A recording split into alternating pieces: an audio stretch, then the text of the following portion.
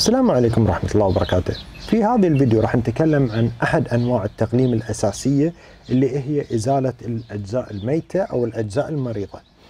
عندي هذه النبتة اللي هي إكليل الملكة أو يسمونها sandpaper plant أو لها أسامي كثيرة آه، ولكن هي نبتة متسلقة فعندي هني قاعدة تتسلق على آه، نوع الشبك ثبتناه في الجدار.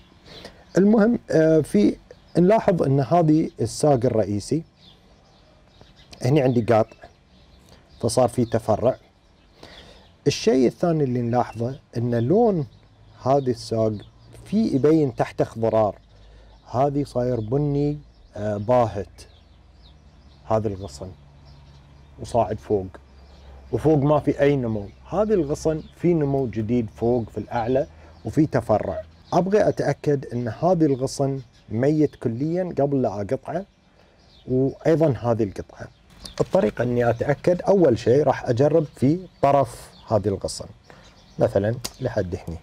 فألاحظ انه في الوسط جاف ما في أي اخضرار ما في طبقة خضراء اللي هي مسؤولة عن النمو. فهذا الغصن ميت. فممكن أزيله من حد أساسه. فأزيل دائما لما نقطع نحاول إن نخلي الشفرة داخل تكون هي الأقرب إلى أساس ال ال ال الساق أو الغصن. ما نعكس يعني ما أقطع آه بشكل معاكس إن تكون الشفرة بهذه الطريقة تكون في الخارج. لا أبغيها تكون للداخل على أساس أقطع أقرب لل للغصن. فبهذه الطريقة. ونلاحظ إنه فعلا ميت وفعلا في شوي بداية تعفن. هذه من الأسباب المهمة إن إحنا نزيل الخشب الميت لأنه يتعفن وممكن ينقل أمراض إلى داخل النبتة ويبتدي العفن يمشي داخل النبتة ويذبحها لي فراح أيضا أتأكد من الغصن دي قبل لا اقطعه من الأساس. راح أقطع من الجزء الأعلى هني فوق. ومثل ما إحنا شايفين فعلا راح أقرب الكاميرا عشان نشوف وناخذ فكرة بشكل مفصل أكثر. مثل ما إحنا شايفين الخشب صاير جاف ما في أي طبقة خضراء حوالين الخشب الجاف فهذه غصن ميت.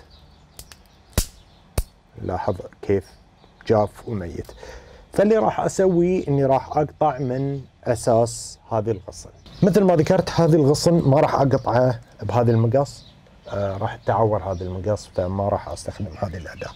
هني راح أضطر أستخدم المقص الأكبر اللي هو هذه راح أدخل قد ما أقدر إلى أساس المكان اللي أبغي أقطعه وأقطع بشكل نظيف فما عندي أي مشاكل.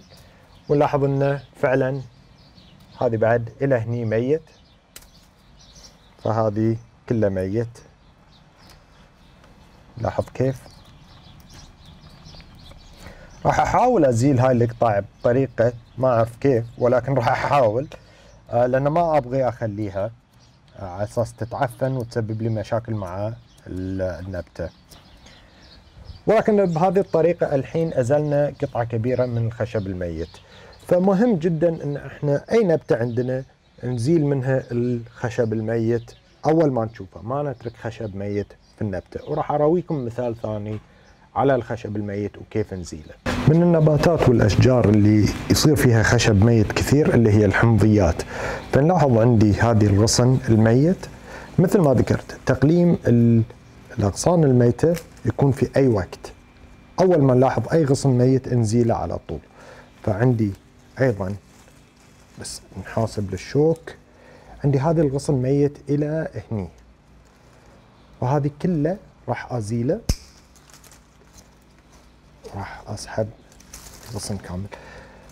ف في أغصان ثانية ميتة راح أنظفها أيضا. ولكن الفكرة ان الأغصان الميتة تسبب مشاكل للنباتات. ممكن تكون أساس تعفن أو مدخل للتعفن والفطريات في النبتة أو الشيرة أو حتى الحشرات. انه في حشرات تنخر الخشب الميت وتدخل في الشيرة.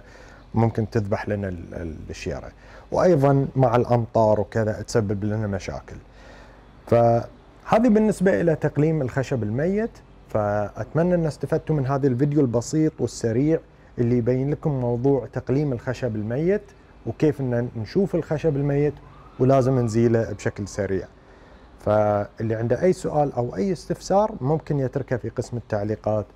وإن شاء الله راح أحاول أجاوب أسئلتكم بأسرع وقت ممكن. وأشوفكم إن شاء الله في الفيديو الجاي. في أمان الله.